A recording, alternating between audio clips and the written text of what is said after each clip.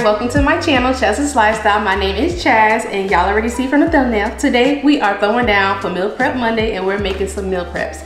Easy, keto friendly, and very fun and delicious. Okay, so let's get to it. For the ingredient list, I have four garlic cloves minced. All my ingredients will be listed down below in the description. I have two tablespoons of low sodium soy sauce. These are the ingredients for the sauce and the salmon. This is two tablespoons of sesame oil, a half a cup of honey, one third cup of water, and I also have one tablespoon of onion powder, a half a tablespoon of paprika, salt and pepper to taste. Really basic and simple since we are creating a sauce. So first things first, I am prepping my salmon. This is the knife that I prefer using when taking the skin off and cutting off pieces that I don't want on the salmon. So I cut that piece because I want my salmon to be even when I'm cubing it since I am doing salmon bites. So a tip that I have is make sure your salmon is flipped over to the skin side. You're going to just take a little piece to peel back to give you a starting point and then I take a paper towel which helps me you know, keep the salmon skin stable while I am separating it from the actual salmon. And you want to ensure that your knife is positioned in an upwards angle. And you can always just take your time and check back to make sure that you are cutting it evenly and you aren't taking away too much of the salmon meat. Now, it's okay if you cut a little bit of the salmon meat, it's all right. So that's what I'm just going to go ahead and do. And I'm almost done with that. And as you can see, I'm pulling this skin towards me and up while I am cutting. And like I said, it doesn't have to be perfect as long as as long as you get most of the skin off. Okay, so now I'm flipping it over and to prep the salmon, I'm actually going to cut certain pieces off that are uneven and then I am going to cut off the additional fat that I don't want on the salmon since we are making salmon bites. Next, I'm going to slice my salmon into my desired size pieces that I prefer. You can actually leave it like this into salmon fillets, but I decided I wanted to do something more fun and make salmon bites.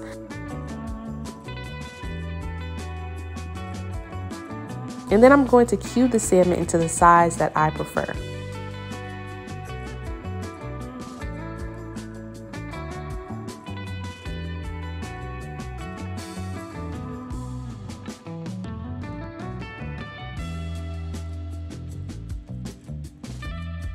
Now with me, I personally like my salmon bites to be pretty thick.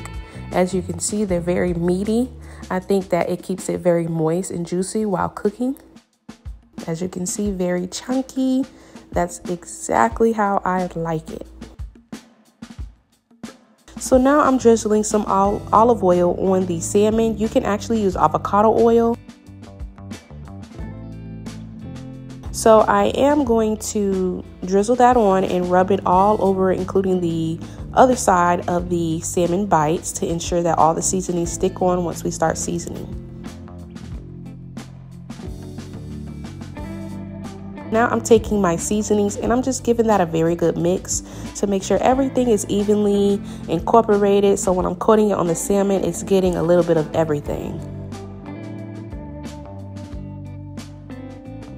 Once I'm done mixing these seasonings, I will go ahead and sprinkle that all over the salmon bites, including the sides as well as the other side of the salmon bites. You want to get all over it. Now, the key to have a nice, pretty sear is to pat it afterwards.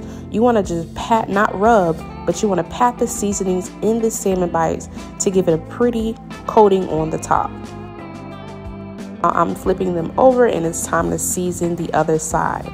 So I have a little bit of seasoning left, which is perfectly fine since I really season the sides and the top pieces very well. So once I flip it over and use the remaining seasonings, I will just rub that on just to make sure every piece is coated.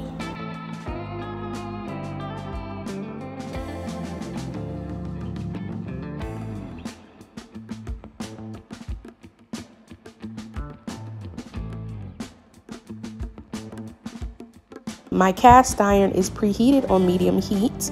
I added a drizzle of olive oil and the key to a cast iron is to ensure that your pan is well seasoned and heated very well before adding your seafood, meat, or whatever you're using taking my salmon bites and I'm placing them into the cast iron and I'm just going to sear these until I get a pretty nice brown sear on each side. So about two to three minutes each side. I'm not worrying about it being fully cooked because I preheated my oven on 400 and once I create the sauce, I will finish the cooking process in the oven for a few minutes just to ensure they're fully cooked, not dry but super tender.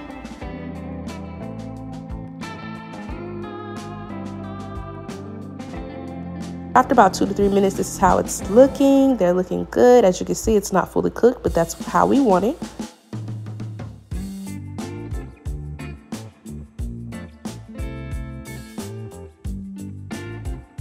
So for my sauce, I'm adding all of my ingredients. I just have a basic honey sauce that I wanted to add. Now, if you are very strict and you want to have a stricter diet, um, I suggest not making a honey glaze sauce. Now, usually my honey glaze sauce is pretty thick because I add a cornstarch slurry.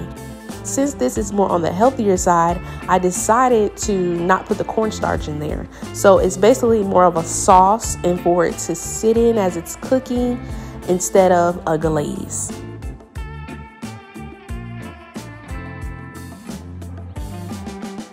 I'm adding all my salmon bites to my baking dish. And I'm just boiling the honey glaze sauce just to cook it. I want that garlic to really infuse into that sauce very well before I go ahead and take it off and add it to the salmon bites. So like I said, it's not as thick, but it just gives it more flavor. It makes the meal preps more fun and just so good to eat instead of the basics. But like I said, just use the same seasonings, sear your salmon bites. While that's in the oven cooking for a few minutes, I'm going to go ahead and blanch my vegetables. To me, that's the best way to have the, the fresh vegetables to get your nutrients is either blanch, steam, or roast your vegetables. I'm adding just a slight butter sauce, nothing too major because this is a healthier style meal prep.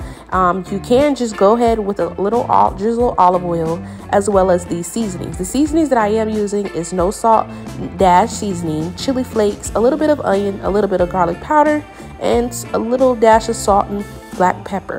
And I'm going to mix that into my butter sauce to create a slight brown butter sauce. And then once that is done, I'm just going to add that to my vegetables. But like I said, for a healthier side dish, don't make the butter sauce. Just add a little drizzle of olive oil, the same seasonings that I'm using, and give that a very good toss in a bowl. And there you go. Now that my vegetables are done and blanched for about six minutes to my liking, I still wanted a slight bite. I didn't want them to be overcooked. So I'm adding that to a bowl after I strained it and then I will add that beautiful brown butter sauce. It's just a light touch for additional flavor.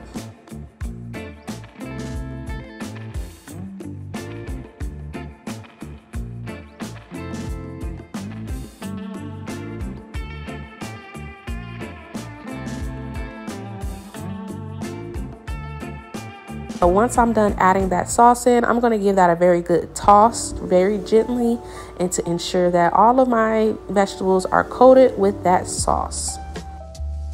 Super easy and convenient meal prep. It doesn't take long at all. It's very easy, very beginner friendly. So now it's time to prep. I I was able to make about five meal prep bowls, which is actually really good because I like to switch it up during the week. Um, so this was actually the perfect amount. As you can see, my salmon is very juicy, full of flavor from that honey sauce. And of course, while it was baking, it created its own sauce. So those juices from the salmon plus the honey sauce, mmm, chef's kiss. If you decide to make this recipe, be sure to tag me on Instagram at Chaz Cuisine Story. Also, if you enjoyed this video, please give me a like, comment, and subscribe if you aren't a part of the lifestyle. I will see you all in the next video.